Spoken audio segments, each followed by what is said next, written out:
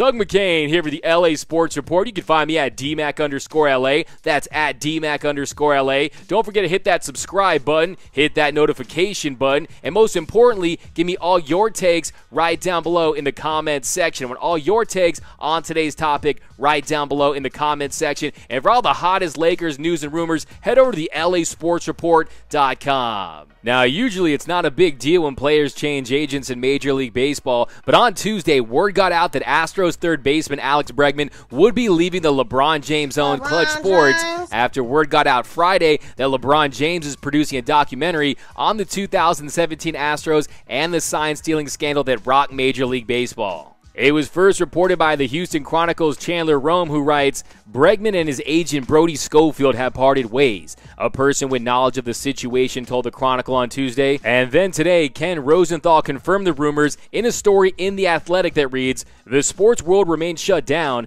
but Astros third baseman Alex Bregman, runner up in the 2019 American League MVP voting, is changing agents because of LeBron James. The answer is yes, according to four sources with knowledge of Bregman's thinking. Now, my first thought on all this was well, well, well, look who all of a sudden doesn't like cameras. What happened, Alex? You like cameras when they were helping you win the 2017 World Series and helping you accumulate statistics that allowed you to sign that $100 million extension. But now, all of a sudden, when cameras are involved to expose the 2017 Astros, you have a problem with it? And apparently, Bregman was furious that LeBron was producing this documentary. He was absolutely incensed. He called up Klutch Sports and he was saying, Hey, I'm out. I'm firing my agent. I'm gone. Hey, if you're Alex Bregman, at least you went out with a bang. And if you're LeBron James, now you have no conflict of interest. And now you can make this documentary as juicy as it needs to be. Look, the appetite for sports documentaries is at an all time high after Michael Jordan's The Last Dance, and LeBron James knows what he's doing. LeBron James is endearing himself to Los Angeles fans. You gotta love it. King James is stepping up for the Los Angeles sports fan. Hey, LeBron, after this one, why don't you do a documentary about the CP3 team trade that never was for Chris Paul back in 2011? I think LA fans want to see that one too. But I see people out there saying, hey, LeBron, just stick to basketball. You shouldn't be worrying about producing a baseball documentary right now. And I tell that same person, hey, LeBron shouldn't stick to basketball. LeBron should stick to money because this documentary is going to make a lot of money. Lots of people are going to want to watch it. It's going to be must see TV, just like The Last Dance was. And then my message to Alex Bregman is hey, we're just getting started here. This is the tip of the iceberg. You can expect to see feature films,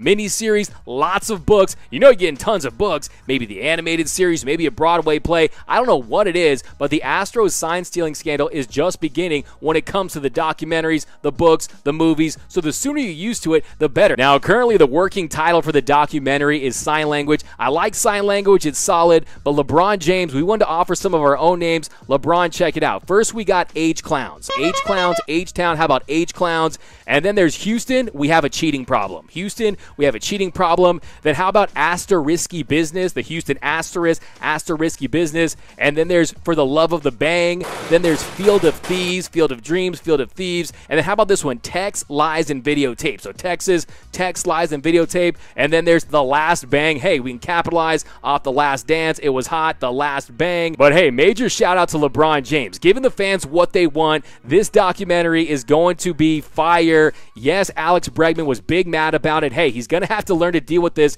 at some point eventually. But how do you guys feel? How do you guys feel about LeBron James producing this documentary about the 2017 Astros sign stealing scandal? Do you have any name ideas yourself? Let me know down below in the comments. And for all the latest Lakers news and rumors, head over to the LASportsReport.com.